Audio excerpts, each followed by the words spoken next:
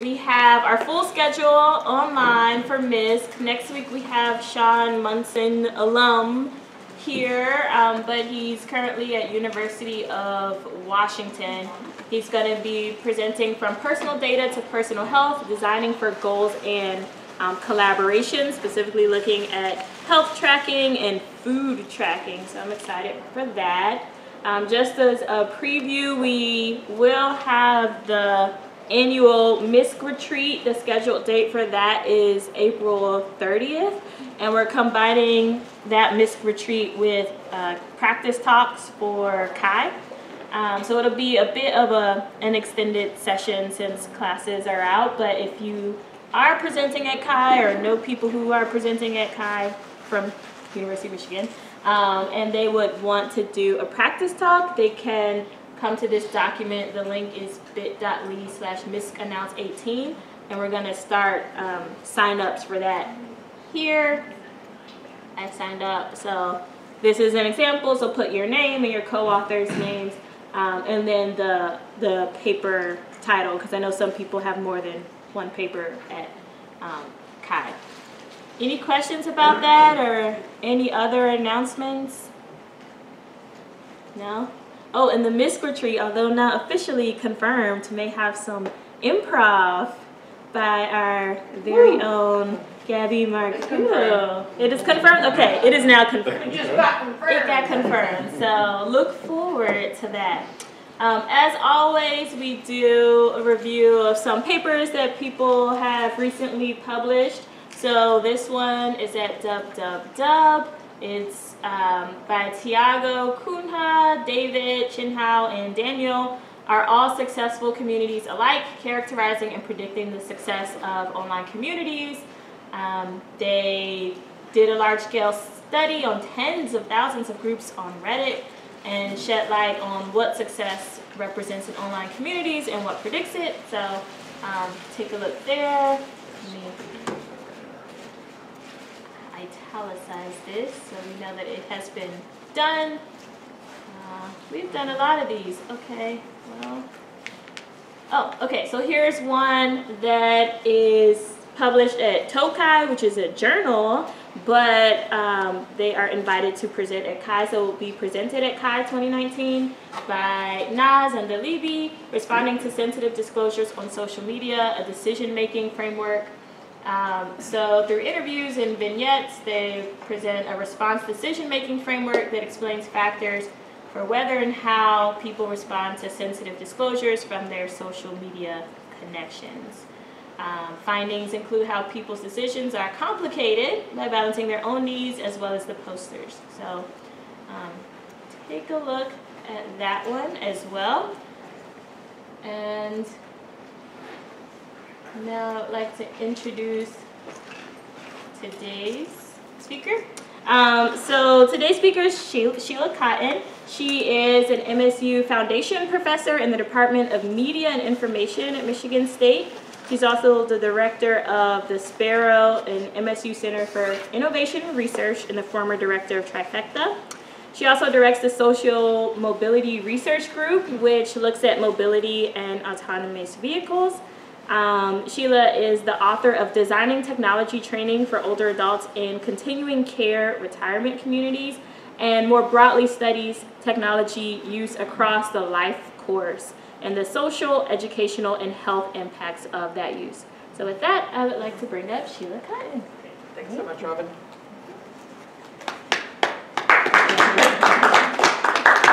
Thanks so much for inviting me to um, come and talk with y'all today and to get a chance to meet some of the faculty and students who are here in the iSchool. Um, we're also an iSchool, um, but we're just a department as opposed to a big, big ass school, is that right? um, but anyway, I am very uh, glad to be here today and uh, look forward to telling you a little bit about some of the projects that I and my students and collaborators have been working on um, over the past few years. So um, I'm a sociologist in a Department of Media and Information, and um, I focus on a range of different technologies in my research and try to understand the impacts of those technologies on people's lives and how we can use technology to make the world a better place, to improve people's health, well-being, Um, so most of my work is very interdisciplinary. I collaborate with people all across the spectrum in terms of um, working on projects or trying to solve problems. I certainly don't think that I, as a sociologist, um, will ever have all the answers to any problem out there. And so I think it takes very interdisciplinary teams working together to try to solve problems.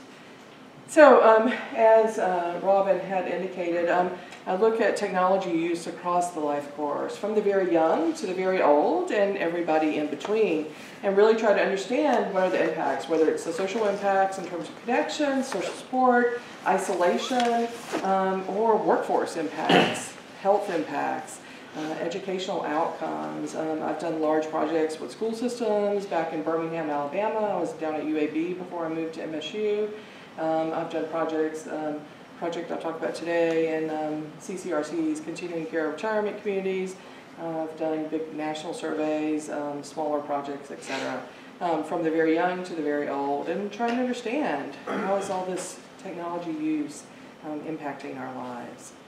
So um, just a few of the projects that I and some of our collaborators have worked on over the last few years uh, with Bree Holtz, um, who's in our college at MSU.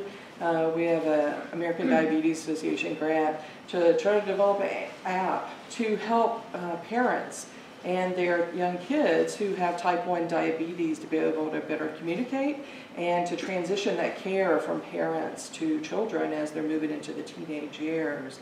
Uh, diabetes is very serious and not being able to manage that is um, a major stressor for parents and for kids. Um, I've done work looking at online motorcycle communities. Anybody ride motorcycles in here? Everybody always says, do you ride? No, I don't, but um, it's really cool though, maybe one day. Um, but looking at how they um, transmit health information and risk and safety information and the impacts that has on their riding behaviors and accidents and those kinds of things. Um, with uh, Bob Rose and Nora Rifon and Saleem Alhabash, um, we had a project funded by NSF looking at online safety uh, online banking in particular, partnering with MSU Federal Credit Union to try to understand what are generational differences and how um, uh, different people think about online safety and security and can you actually try to ramp that up. Because uh, as you and I um, both know, um, there's lots of people trying to get your information today and banking industry has hit up you know, massive amounts of times per day. Uh, so that was an interesting project looking at, uh, at uh, online safety and security. And then, uh, in fact, that picture is one of our participants from uh, that study. And then um, with one of my, um, or a couple of my graduate students actually, we've been looking at um, some projects around what we're calling the physical digital divide. Particularly with older adults and um, their younger um, family members. So what happens when their kids and grandkids are in the same space with them and they're sitting there on their devices like some of you are, uh, I won't call out people, um, and uh, what impact does that have on the older adults um, in the room? And so we've coined this term the physical digital divide. So you're in the same space and ideally you're interacting together, but for the older adults in the rooms, there's this divide, this physical divide that's a result of the, their younger family members, you know, keeping their faces uh, glued to their devices. Uh, so some work around uh, that and phubbing and, and those kinds of things. So um, a lot of different projects across the spectrum. And as I was telling uh, uh, somebody this morning, you know, it's really cool studying technology because it's constantly changing and trying to understand the impacts of it is like, you know, a high-speed rail going down the road and, you know, trying to keep up with the changing technology and the impacts. And we're only in the infancy stage of understanding any of the impacts of all this technology use that we're doing. So um, I thought I'd spend most of my time today uh, talking about one um, project in particular, and then at the end I'll tell you about a few other um, recent projects to touch on real briefly uh, that some of my students and collaborators, and others collaborators are um, working on. So um, a few years ago, I met an 87-year-old woman um, who had moved into an assisted living community about a year or so before I met her. And when I met her, um, she didn't have any friends. Well, she had one friend that lived several states away.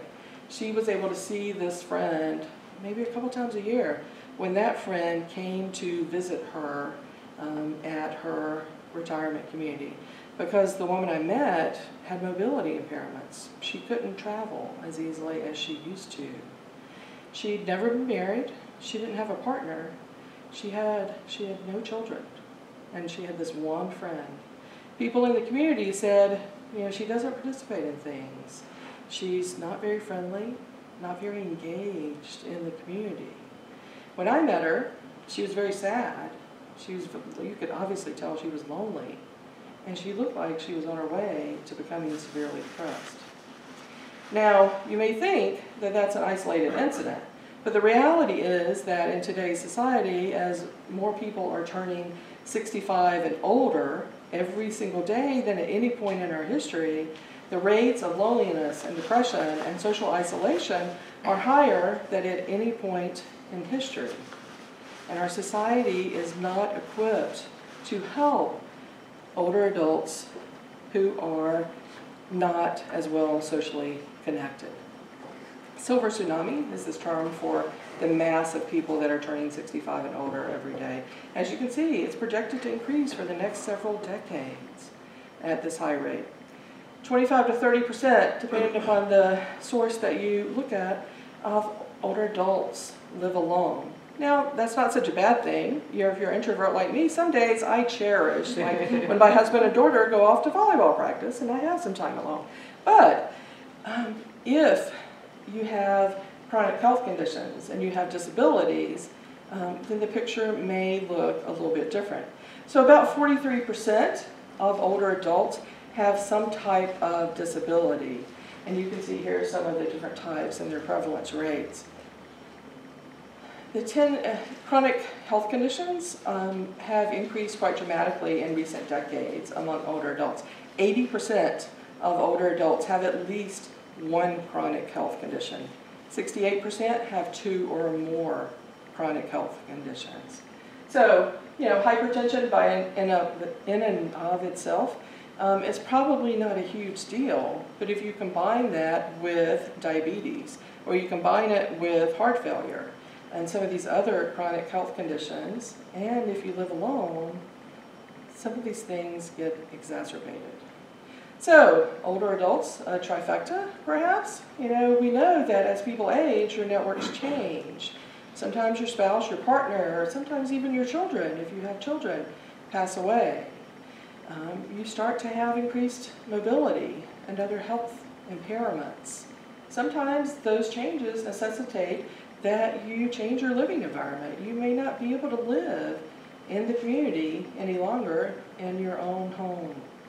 Uh, so some people end up moving to assisted or independent living communities, AICs as we call them for short, because they can't live independently anymore and they need some assistance to be able to maintain their independence. So um, can teaching older adults to use computers and the internet help to stave off some of the loneliness, the depression, the lack of independence? Could it be a way to curb some of these declines?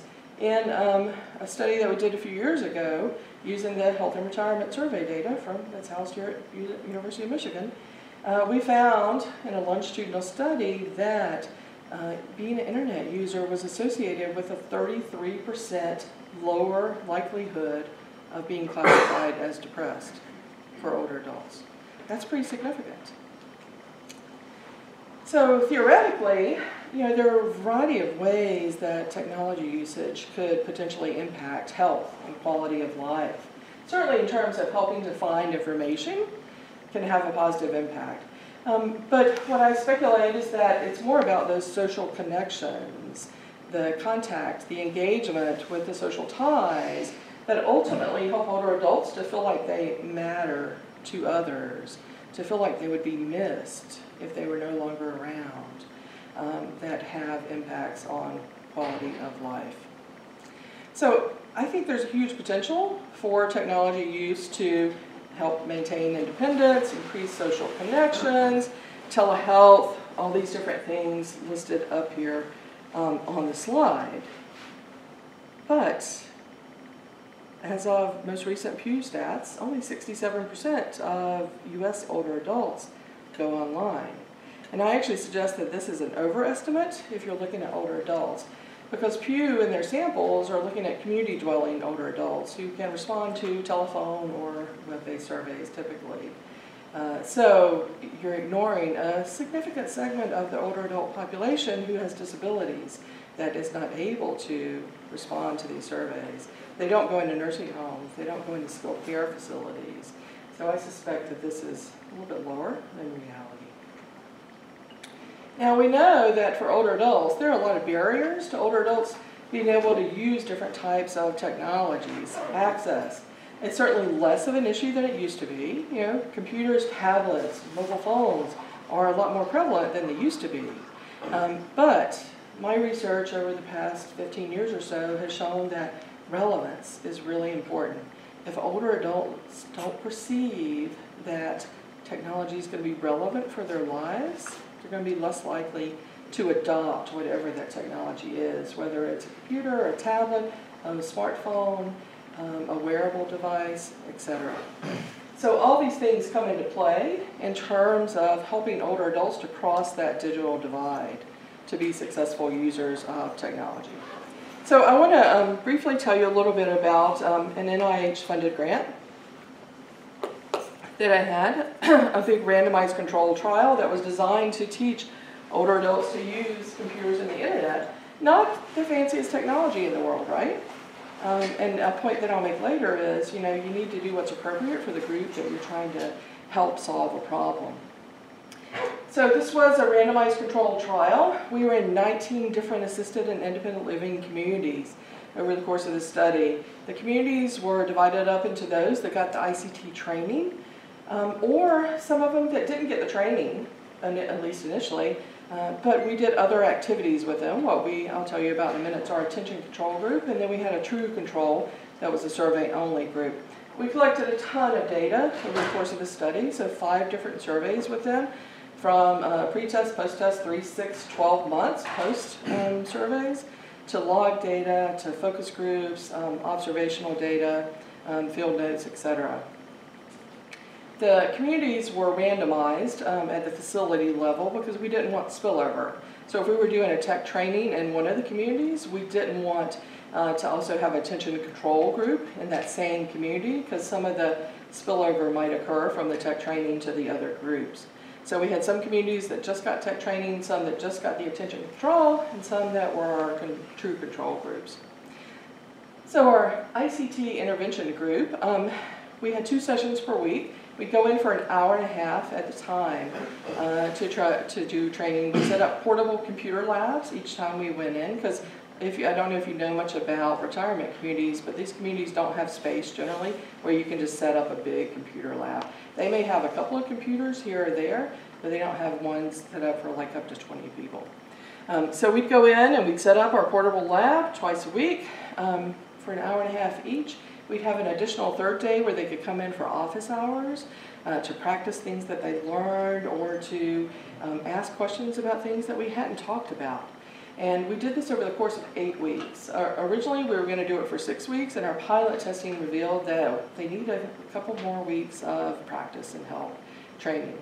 We started with the basics. You know, how do you turn on a computer? What are the different parts of a computer? I mean, you're in an school, you're all very tech savvy, I'm going to assume. But think about your grandmother or your grandfather, or maybe even your great grandparents for some of the students in the room. Do they use technology? Do they use computers? Uh, so just because we're familiar with it doesn't mean that they're familiar with it. Um, teaching them how to use a mouse was really key. Um, and does anybody know what the thing up at the top is with the yellow in the middle? Mouse Yeah, it's a, it's a, a big mouse, um, or what some of our participants call rats. It's a joke, y'all are supposed to laugh. um, we also used big key keyboards because most of our participants didn't really type. They did the hunt and pecking and it was much easier for them. Um, we developed, um, or we used some mouse exercises so they had chase little squirrels across the screen to help them get comfortable. We all have a lot of physical control and dexterity in our arms and our hands. A lot of older adults don't. And so using a mouse is really hard for them. Um, We taught them to open and close programs. We developed a very specialized training um, manual that the participants said um, was fantastic and better than anything they'd ever used. And communication is really key. Uh, you know, when you're working with different groups, you need to tailor the training to the group that you're focusing on. Um, too often, particularly with older adults, people talk down to them and treat them like they're stupid. In fact, we had people say, oh, my grandson tried to teach me how to use a computer and it made me feel stupid. You know, things like that. So um, don't be condescending when you're working with particular groups. You know, focus on the group at hand and what their skill needs are. Yes, Robin? Um, question about the length of the session, the, the, the intervention. You said it was initially six weeks and then you pushed it to eight weeks, Yes. um, because they weren't at a point. We did a pilot um, community first before we actually started the formal randomized controlled trial. And in that pilot community, um, at the end of six weeks, we had not been able to get through all the materials that we needed to, and they weren't, they hadn't accomplished as much. So So was there a point that you wanted them to reach at the end of the session? What was that? yeah, I'll show you a little bit and, and some of the things that we covered. Okay. So, topics that we covered. Um, we started very basic with, you know, how do you turn on and off uh, the computer? How do you open and close programs? And then we started early on with email because if you remember that conceptual model that I showed you early on, you know, I'm primarily hypothesizing that the main conduit to impact health and quality of life is through those social connections. Um, and so it, we really emphasized email and helping them communicate with their social ties, primarily through emails. We also introduced social networking sites. I can tell you that the vast majority were not interested in going on social networking sites. Too many privacy concerns, too much information overload. Uh, they much preferred the more one-to-one communication than um, the social media uh, layout.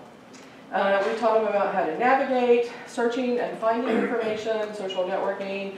We took them to Hulu and YouTube, which they really enjoyed because they could find TV shows and music from their generations, um, which was really appealing to them.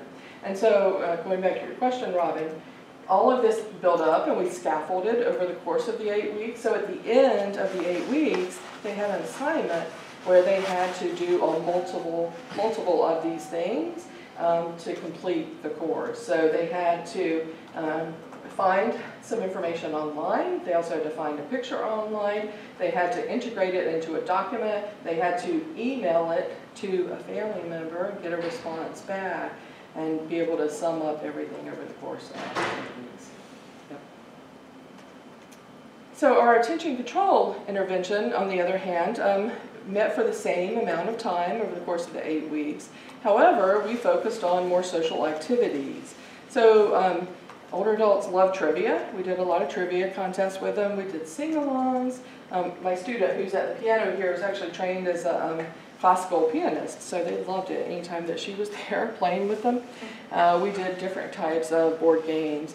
We had some special performances by um, usually young adults um, from different musical colleges and those kinds of things.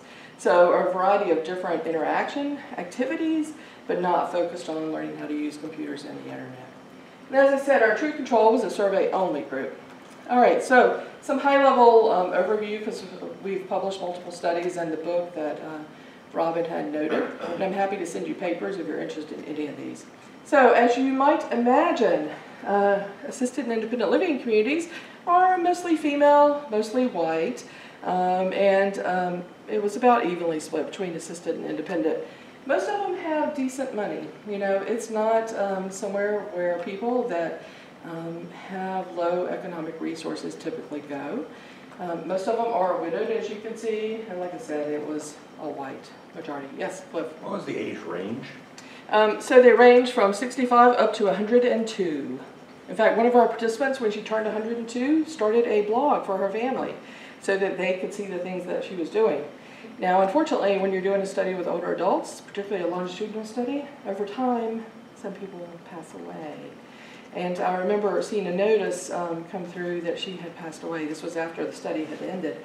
And I went to the funeral home, you know, site and um, looked at the the blog there, and uh, people were saying it was great because I could read her blog. I didn't get to see her, but I could see her blog and see the things that she was doing, and we could email and those kinds of things. So it's kind of sad, you know, when you work with older adults and you know people pass away. But um, it seems like she really enjoyed the blog, and we were glad that we could help facilitate that. All right, so over the course of the study, uh, we saw a range of things increase. The ones in bold are the ones that persisted a year past. Um, so the very final um, follow-up that we did. So we saw significant increases in going online, using email, surfing, looking around, playing games by themselves. Um, one of the things I was kind of sad about that we didn't see a change in was looking for health information. One of our sessions was devoted to finding and evaluating health information online. Because, you know, if you remember, 80% of older adults have some type of chronic disease.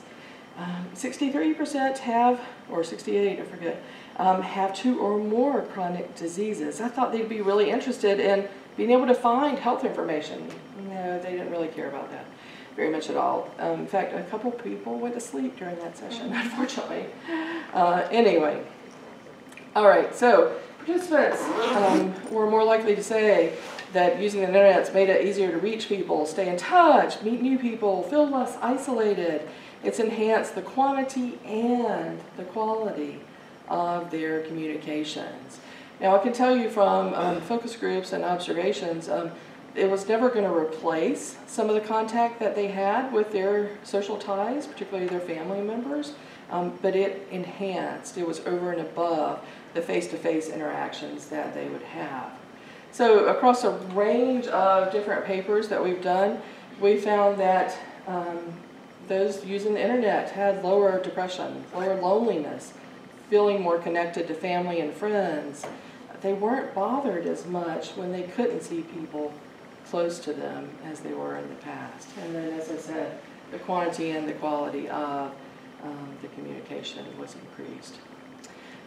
You remember that mattering concept that I talked about earlier. So um, in some of our work we found uh, using ICTs was associated with lower depression. That's a good thing, right? But it's mediated through mattering. So using technology um, enhances your feeling of mattering, that you matter to others, which is associated with lower depression. So the original relationship between internet or ICT use and depression goes away, and it's really about those connections and feeling like you're important to other people is what we found. So, yes, Robin? Did it matter who those other people were? We didn't ask specifically about that, unfortunately, but um, I suspect that it was mostly family and friends. I mean, the strong ties as opposed to weak ties. All right, so this was a longitudinal study. so one of the things that we we're interested in, what keeps people using um, the internet over time. and we found that independent living uh, participants were more likely to continue using over time. I mean, this makes sense in some ways, right? If you go into an assisted as opposed to an independent living community, you already have more than likely more health issues that necessitate going into assisted as opposed to independent living communities.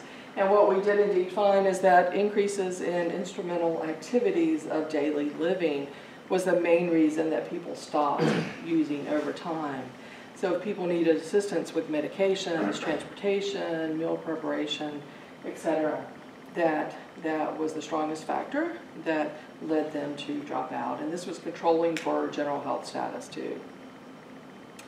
So in addition to the range of um, quantitative data, as I said, we did focus groups, we did observations, field notes, those kinds of things. And one of the things that people love to do was to use uh, Google Street View to go back to their old neighborhoods. Because, you know, when you move to a retirement community, sometimes it may not be close to where you've lived for the last 20, 30, 50 years.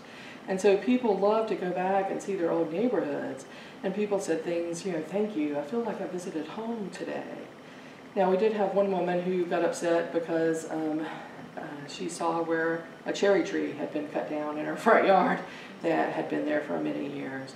But by and large, most everyone you know, loved being able to do this. they said things like, you know, this has opened up a whole new world. They felt like they could actually interact and dialogue with their kids and their grandkids, who kids who are talking about Google and Facebook and um, all these other technologies. Um, it made them feel like they're more a part of the human race. Now, a decade, the last 10 to 15 years, has seen a shift of people moving into retirement communities. Um, it used to be that people moved in when they were pretty healthy. Now people are trying to age in place for as long as they can, so when they actually do move into these communities, particularly assisted living, they're a lot frailer than they used to be. And so for many of these older adults, this is the last stop. You know, like it used to be that they would move from um, assisted into like nursing home, but usually they end up dying in assisted living, living in particular. So it helped these people to feel more updated and less isolated from our technologically based society. And as some of our participants said, you know, it, it's helped me feel further from the grave. So, you remember the 87 year old woman that I told you about? I don't know why, um, but for whatever reason, she decided to participate in our project. She signed up for the training. And over the course of those eight weeks, you start to see her becoming more engaged and more interested. And she's starting to have conversations with other people. And people are remarking, like, what's going on here? Why, you know, this person is like a totally different person.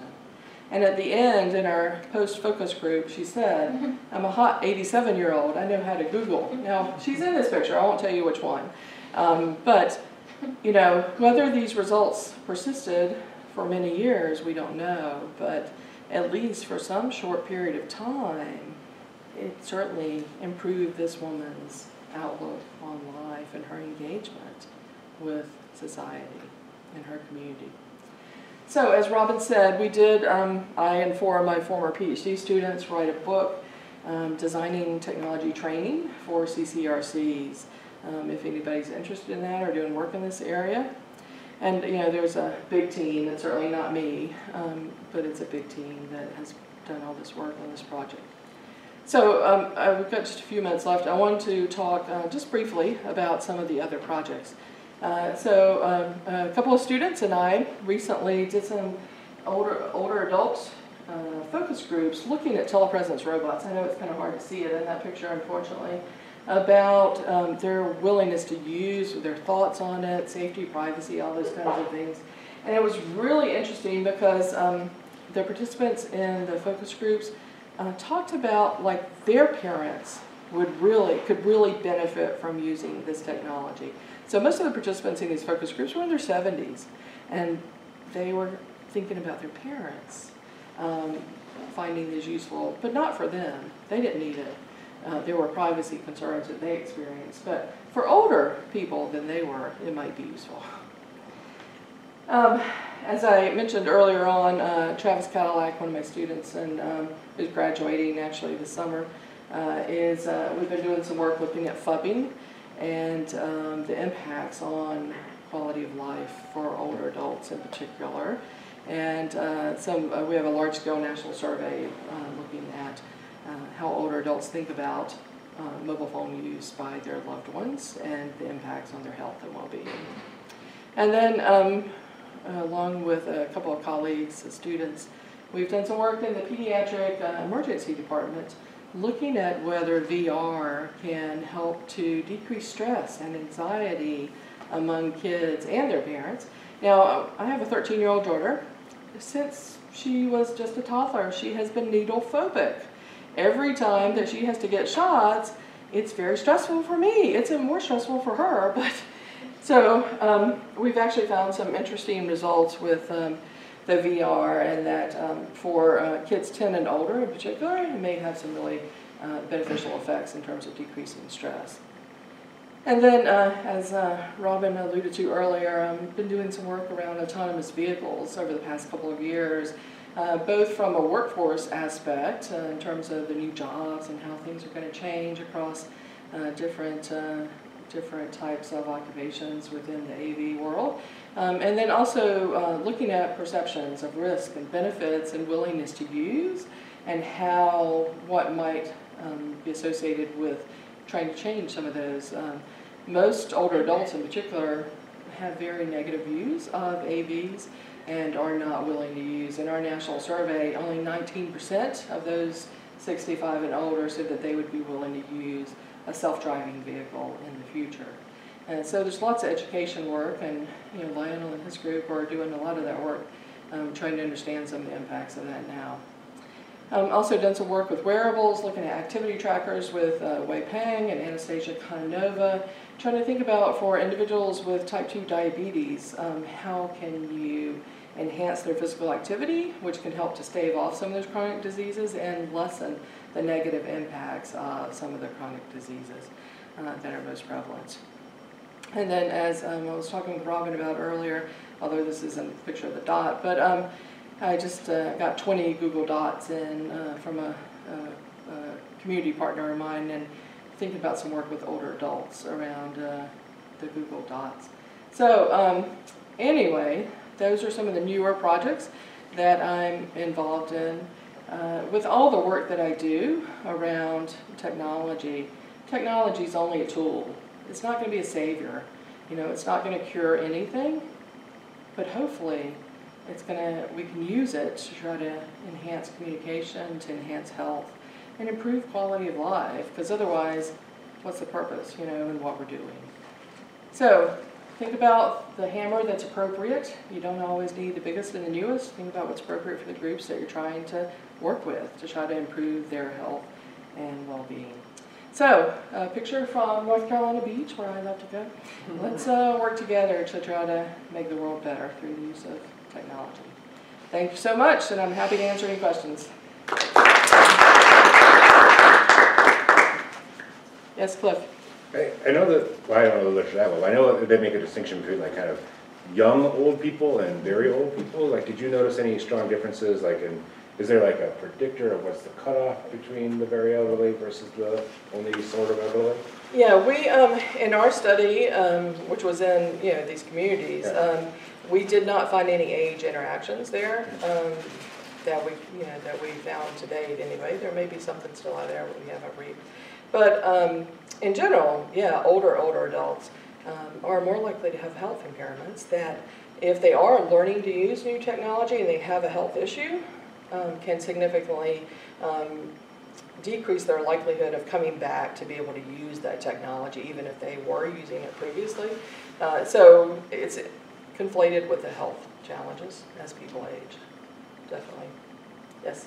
Yeah, we're doing a paper now, uh, me and my students are looking at the impact of AV explanations on age groups, you know, you know, how it impacts, and so we're, we're talking, I was like, okay, you know, the groups, we, do- uh, we got three groups, and I was like, you know, how do we define older adults? That's the term, older adults. And we did the literature, and according to the literature, so far we found on, on, on driving, ages fifty-five or older, considered to be older adults. And, uh, I just, I think, you know, going forward, we really have to rethink the way we define older adults, because like Cliff was saying, that's probably going forward, it's gonna be a big wide spectrum Mhm. that I don't think people have actually considered. Yeah, oh yeah, I would agree with you. You know, what uh, a hundred-year-old thinks about AVs is probably very different than a sixty-five-year-old who may still be in the workforce, Yes. you know? Yeah, definitely. I saw hands this week, yes, please. I'm curious, especially since a lot of voice interfaces seem to be marketed towards older adults, I'm curious what you think about their uh, promise or. I think there's huge potential for voice interface, um, but it's not without problems for older adults. Um, as you age, your voice changes. Uh, so um, it's, you're not quite as strong, as forceful in the voice. Um, so I think there are still limitations. It's much better than it was even a couple years ago in terms of the voice capabilities, but it's still got a ways to go in terms of that. But no, I do think it's the future, or maybe even the now, almost. Yep. Um, with the phubbing work, I'm curious if you have any thoughts about why you think that the older population would be different than other, um, age groups? In Uh, terms of their kind of, you know, appraisal of that behavior? Um, I think a lot of it's related to norms of interaction. Uh, so for um, older adults, at least to the ones that, we've done some focus groups and interviews, and then, like I said, this big survey. Uh, they've told us in the focus groups and the interviews, you know, when I spend time cooking a big meal, like at Christmas or Easter or whatever, um, I want people to interact. I want to be able to communicate with my loved ones. I don't want them facing their phone, you know, or totally distracted. Um, you know, it's about feeling like you're important, like you matter, like you're not just, oh, here, I'm just a cook, you know. Uh, so they find it very rude, um, and they find it um, really problematic. And so some of the older adults in our focus group said, you know, I make my family members put their devices on a table or, you know, in a basket or something until at least the meal is over. Because a lot of times the kids will eat real quickly and then go grab their device. And so they try to create these rules to change some of those behaviors. Uh, sometimes they're successful and sometimes they're not. Yeah. So different norms. I think that's a, a big part of it, you know, in terms of socialization and um, interaction expectations. Yeah. Do you have other thoughts? Um, no, I guess I was just curious as to whether there would be anything different about older folks versus middle aged. I mean, I think, um, the, the kind of emerging adults and, and younger seems, seem to be in a di- a kind of a different, um, I don't know, kind of a different sen- sensibility. Yeah. Um, but above that, Like the middle age group? Like, how do they think? Is that where you're? yeah, yeah. Yeah, we haven't um, talked to any um, middle-aged people t- to ask about that, but I think it is an interesting question. Mhm. Um, You know, if you look at the usage rates of different devices, uh, they're pretty high users in general until you get to the end of, you know, middle age. It tends to slow down a little bit, it seems like. Um, But yeah, it'd be interesting to think about the norms. I mean, because there is also that, some work that suggests that they are used to kind of facilitate intergenerational Yep. communication, like grandparents or to getting on manage. Facebook to see the baby pictures. and, Yep, yeah. um, it kind of fits into norms, I wonder if it's about interpretation of signals, right? So if young people are together, the fact of being together is a signal that I care about you, right? Like, it's not about a norm, it's about how we're actually interpreting cues. Yeah, I- About how people are, I, I was thinking that actually, that if you had these young people who then were like taking pictures of the food to kind of boast about it on social media, that could be something that they see as a signal of, Mhm. hey, I'm showing you respect by Yeah. sharing your, your, you know, the, the lovely meal that you've made, whereas the perception of the, you know, the, the cook Grandparents, yeah. could be, why, why do you have your phone out? Yeah, yeah, and uh, I will say in the focus groups and interviews that we did, they didn't talk too much about their kids or grandkids taking photos. It was more about the texting or the gaming, those kinds of activities, that the social media Mhm. that they were doing, as opposed to taking photos and you know posting them per Mhm. se. But we didn't ask about that Yeah. either. Yeah, it is interesting though, definitely. Robin, did you have anything? Yes, this might somewhat be a follow-up question, and I, I actually get this question a lot about my own research, so I'm curious about how you approach it, but, so you were showing statistics about the older adult demographic growing, and then there are also stats that show that they're using technology increasingly more and more, so. Is the digital much- divide going away? Right, how much of this will disappear with the next generation? Yes, um, I don't think it's gonna go away because technology is consistently evolving. So I think even though we're very tech literate at whatever ages we happen to be, I think when we're eighty, the technology is gonna be very different. And so while we may be users of technology, we may not be users of the latest and greatest technologies. I don't know, what do you think? I take a similar approach. There will always be something new, and then also particularly with the, as you're mentioning, the growth of people with disabilities, disabilities as you age, I think that will remain the same, and that will, you know, increase challenges to accessing and using technology. Yes. Uh, Did you find any effect of the environment that they were learning these new technologies? Like, was there some benefit of being with other people around their age who were trying to figure out how to use the internet?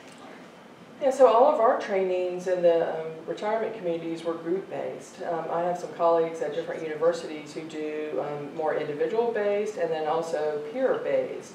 And they found success with each of the different um, techniques. I think it really depends upon the group and the um, specific issues that they may have. So for our community, um, given that there were mobility issues, there were um, some vision um, issues, um, so our materials were were tailored uh, to respond to the individuals that we knew we were going to have that were in these communities. Um, So I think the more you can tailor it to what the group needs or the individual need is, I think the better and more successful it will be. But part of that's figuring out what that is ahead of time. Yes?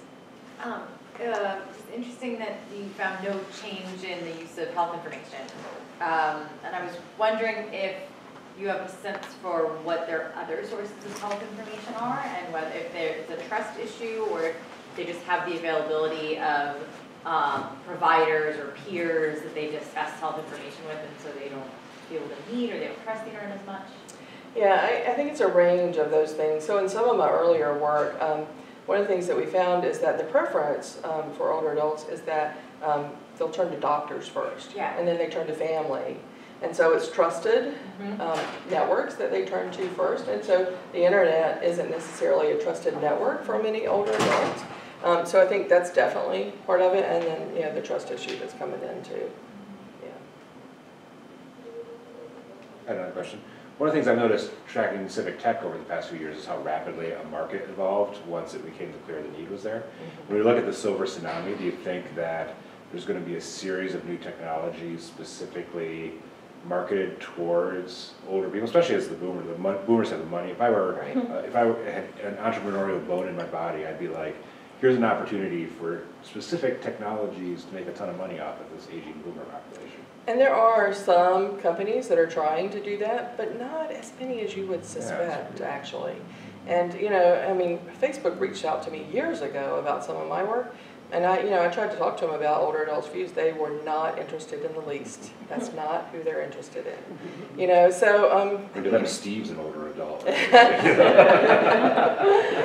Um, so, you know, I, I think we need more companies that are doing that. Or, you know, realistically, I think we need design for all. Yeah. not design for the, you know, teens and tweens and twenty-year-olds, you know, because if it's designed for all, then it's gonna work better for everybody. All right, well, thank you. Yeah, thanks so much for having me.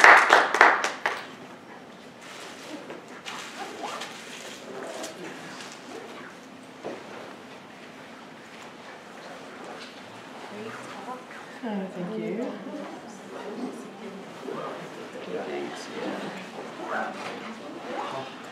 About the. Oh, no, that's fine.